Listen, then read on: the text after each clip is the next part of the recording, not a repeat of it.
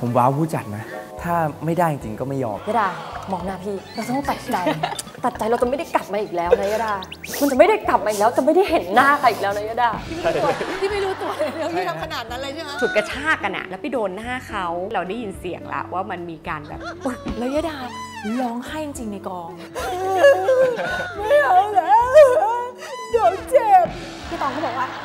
พี่ดุลเขาอยากได้แบบแรดๆอะ